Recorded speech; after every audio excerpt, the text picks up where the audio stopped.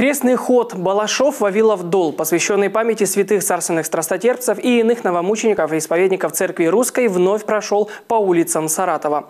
Что дает человеку участие в таком ежегодном молитвенном шествии, узнали наши коллеги. В Свято-Георгиевском храме города Саратова крестоходцы помолились на божественной литургии, которую возглавил митрополит Саратовский Вольский Лонгин. Участие в крестном ходе дает человеку возможность на время выйти из информационного потока и побыть самим собой. Крестоходец весь свой путь думает о Боге, вечности, добре и зле.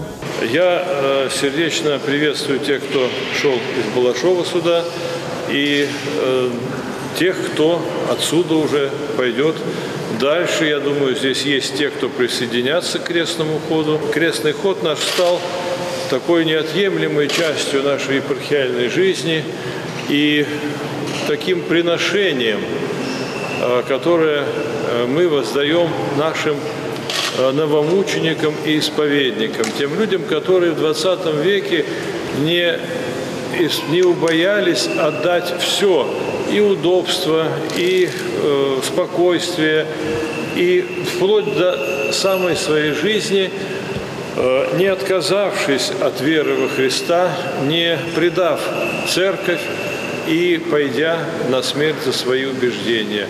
Что дает людям этот путь? Поначалу у меня ходила просто мама, а затем она меня пригласила, и я заинтересовался. Она рассказала, как там весело, как они там ночуют в палатках, как там есть веселые ребята. Но я согласился с ней тоже пойти. Я хочу почувствовать, что я могу ходить в крестный ход, что я это могу осилить, почувствовать удовлетворение во славу Божью. С Божьей помощью, с молитвой это очень легко идти. Даже вот э, живя в городе, не идя в крестным ходом, мы страдаем больше от жары, от непогоды больше. В крестном ходу это все легче.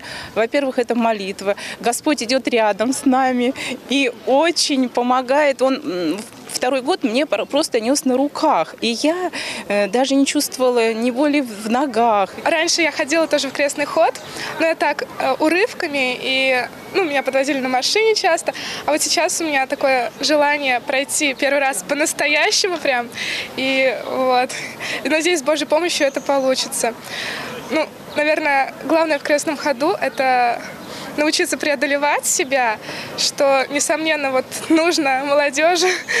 Тут мы приходим со своими мыслями, с суетой такой, и немного так отрешившись от цивилизации, от э, интернета, э, ты приобретаешь вот что-то такое, что вот, ну, это невозможно описать, как бы, может, даже благодать, вот такое грубое слово, но да, вот что-то такое присутствует. После праздничного молебна и трапезы снова в путь, который ведет к объединению людей, возрождению духовных традиций православия и стремлению к Богу. Продолжительность крестного хода составит 32 дня. Вечером 16 июля крестоходцы прибудут в Вавилов Дол. 17 июля там будет совершена божественная литургия.